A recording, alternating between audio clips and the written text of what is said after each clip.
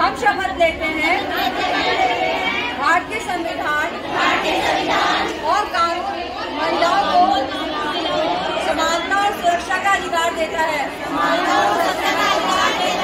आइए अंतर्राष्ट्रीय बालिका दिवस के दिन ये संकल्प लें कि हम अपनी बालिकाओं को सुरक्षित भविष्य प्रदान करेंगे भैया बाद उसका कक्षा एक में आने पर फिर कक्षा छह में आने पे, फिर कक्षा नौ में आने पे, फिर ट्वेल्थ में ट्वेल्थ पास आउट करने के बाद। अब आते हैं योजना और चल रही है, बाल सेवा योजना, सामान्य।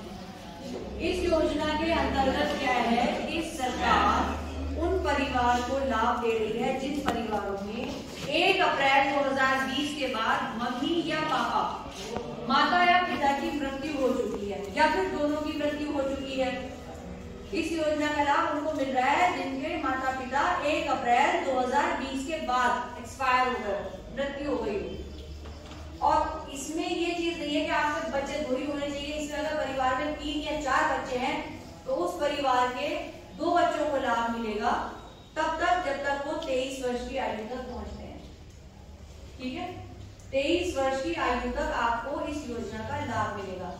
अब आपकी जानकारी हो सकता है, ये योजना किसी के लिए नहीं हो लेकिन अगर आपकी जानकारी में कोई ऐसा है आपके आस पड़ोस में कि उसके मम्मी या पापा अभी एक्सपायर हुए हों, कुछ महीने पहले या एक साल पहले, एक अप्रैल 2020 के बाद तो उनको बता देना, विकास भवन कमरा नंबर 235 में फॉर्म अवेलेबल है। लास्ट डेट कोई नहीं है, वो फॉर्म फिल कर सकते हैं।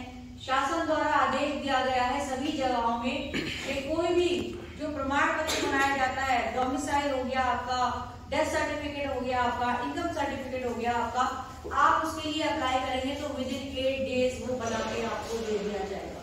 पहले बहुत लंबा टाइम लग रहा था, काफ़ी काफ़ी दिन लग जाते थे कि अभी तो ऑनलाइन किया एक महीना